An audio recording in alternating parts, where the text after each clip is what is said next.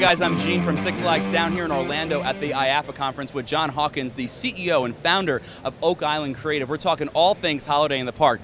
Six Flags over Georgia, innovative holiday in the park. Six Flags Great Adventure, new innovation. Innovation's your DNA. Without giving away any trade secrets, what can we expect to see in the coming years? Great question. So, what we challenge ourselves with is what we call experiential entertainment. When guests come to Six Flags, we want them to be immersed in an entire environment with audio, lighting, smell, unique sounds, performances, wowing visuals. So without giving away any future trade secrets, which are some really cool ones coming out, but without giving anything away, one thing I would say is we're always talking about how can we physically bring an experience to reality so that you are basically living an experience as opposed to watching one.